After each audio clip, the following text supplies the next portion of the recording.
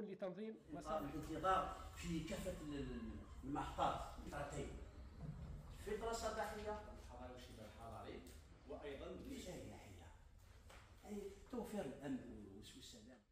النقل البري واقع. تنظيم.